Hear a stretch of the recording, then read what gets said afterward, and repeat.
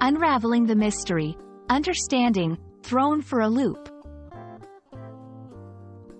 Hello, everyone. Welcome to our English language learning channel.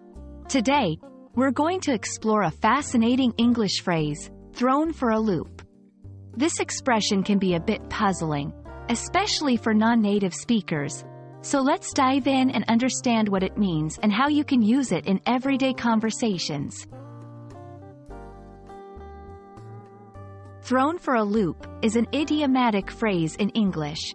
It means to be surprised, shocked, or confused by something unexpected. Imagine you're walking calmly, and suddenly, something jumps out at you. That sudden shock and confusion is what this phrase tries to capture. It's commonly used in casual conversations and can describe a wide range of situations, from mild surprise to complete bewilderment.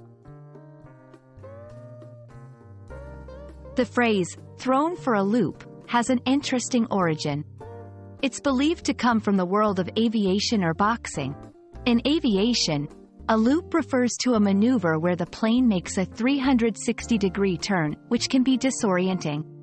In boxing, a loop might refer to a surprising punch that catches a fighter off guard. Both origins convey the idea of being caught by surprise or disoriented. To better understand how to use thrown for a loop, let's look at some examples. 1. When I heard the news about the merger, I was totally thrown for a loop. Here, it means being surprised by unexpected news. 2. His sudden decision to move abroad really threw me for a loop. This expresses being shocked by someone's unexpected action. 3. The final twist in the movie threw the audience for a loop. This shows being surprised by an unexpected plot turn. There are other expressions in English that convey a similar meaning. For example, caught off guard, taken aback, surprised. While these phrases are similar, thrown for a loop often implies a stronger sense of confusion or disorientation.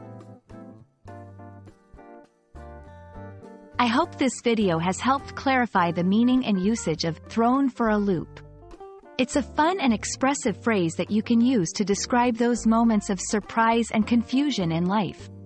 Keep practicing, and soon, you'll be using it like a native speaker. Thank you for watching, and I look forward to seeing you in our next lesson.